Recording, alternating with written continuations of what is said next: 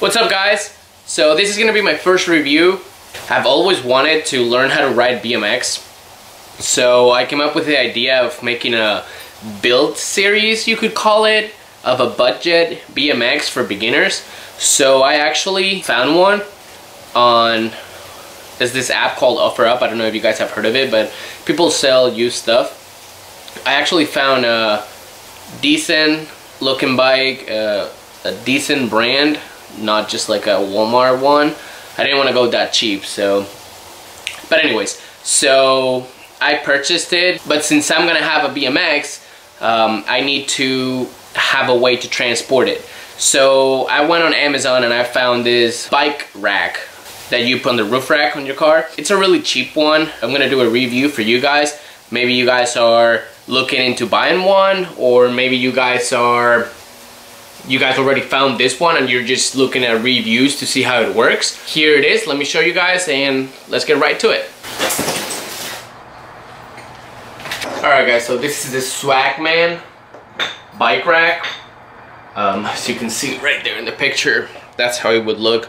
Those are the racks in the car and then the actual bike rack. So let's get to it and let's see what's what's inside. Again, for you guys, if you don't know, I will leave the link in the description. That way, if you want to check it out, you can.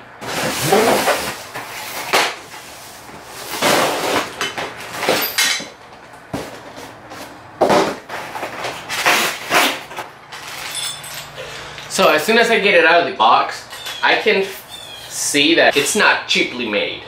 Okay, it's um, good quality stuff. It's actually kind of heavy. And this rails, which is where the bike is actually going on, they seem to have a nice quality. They're painted that way they don't get rusty. And also, I believe all the all the hardware in here is actually stainless steel. So that way it doesn't get all rusty. So let's open it, read the instructions, and get to installing. Alright guys, I'll see you outside. Let's get everything out let's start setting it up. What you're gonna do is measure how far away you need this in respect to your racks. So, all right, so what you're gonna line is those long holes with the other long holes on the other one. Gonna line them and you're gonna put screw on top, boom. Gonna put the washer and you're gonna put the nut and tighten it for now. Get the other screw.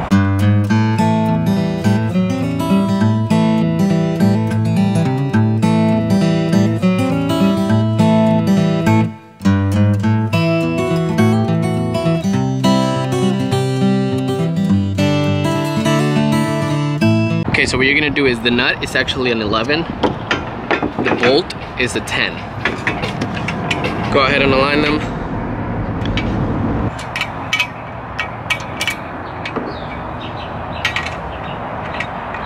So that step is done.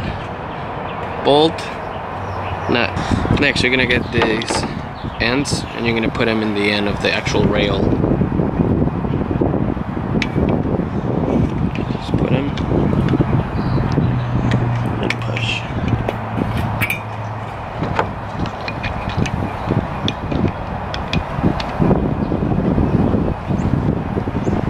Just work them in.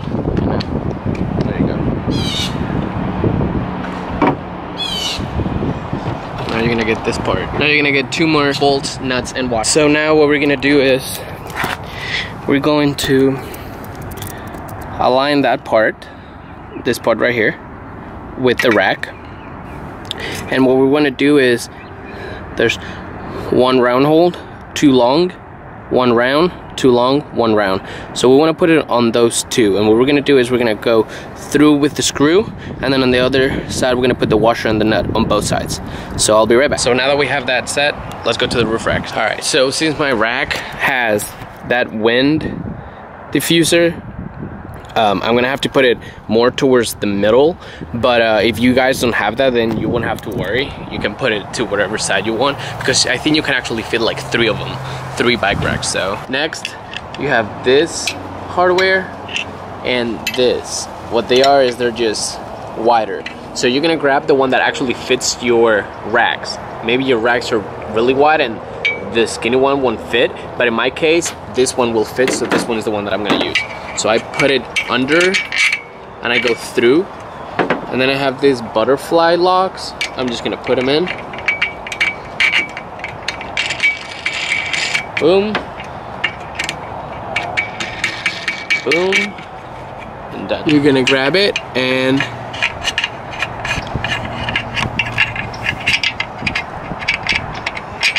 gonna get it through. See, like that. Now what you're gonna do is you're gonna get the butterfly and nuts and you're gonna put them over. So now you grab those right there where we have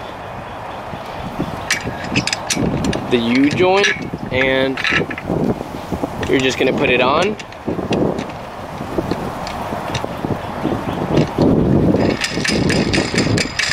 And you're gonna put it on.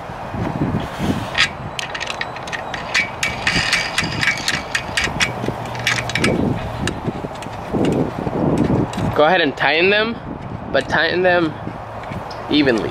So hit one, two, three turns, and then one, two, three turns on the other one, the other side as well.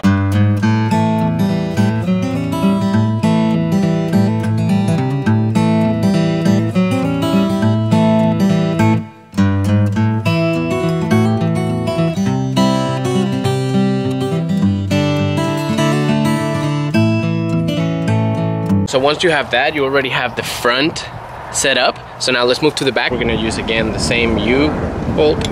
So, but this one's gonna go on the top. Basically how it's gonna go, here's gonna be the rack.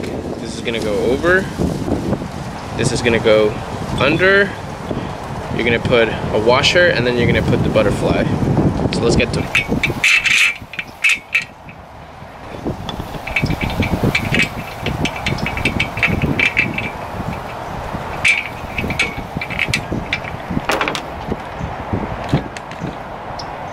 put the washer. And the nut, the butterfly. And just leave it there. Now the same thing on the other side. You put the nut, or you put the washer, and then you put the butterfly nut.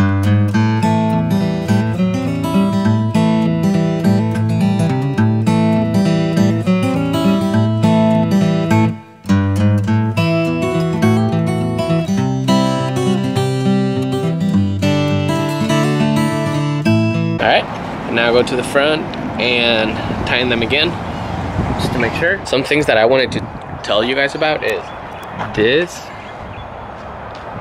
comes with a protection, it comes with a key. I don't know if you guys can see it. Comes with keys, and where the actual bike goes, it's rubber, so it doesn't damage your frame. Also guys, I forgot to mention it comes with straps. So when you put the bike on the rack, you can actually strap the wheel to the actual rack. So let's get to it. Let's get the bike and put it on.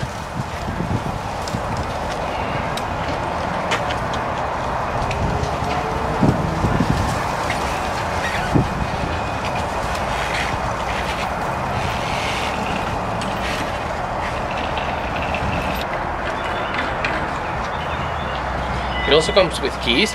Uh, it seems like when you can only tighten it and untighten it when the key is on. So that's a really good feature. That way they can steal the bike. Then you get these straps. Just so you guys have an idea of how much it moves when you're driving, let me show you. The bike, it doesn't move at all really, really, really, really, really impressed with this product and it's super cheap.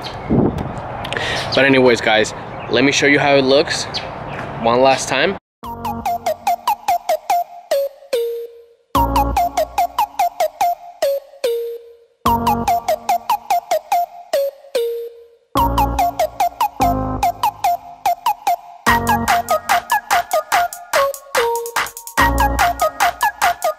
Guys, I hope you guys enjoyed the video. I hope it was helpful for you guys if you guys are thinking on buying it or you guys don't know how to install it. Leave a thumbs up if you guys liked it or if, it if I was helpful. Subscribe, comment, let me know what you guys think about the videos, new ideas, whatever you guys want. And as always, ride safe and I'll see you guys on the next one.